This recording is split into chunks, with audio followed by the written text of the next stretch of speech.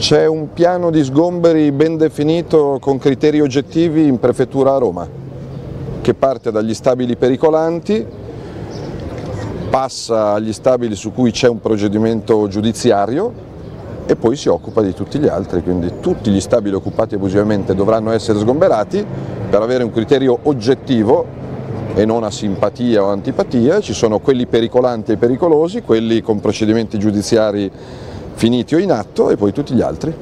Però quel piano di fatto è lo stesso del prefetto Tronca che è stato fatto cinque anni fa, gli stabili sono gli stessi?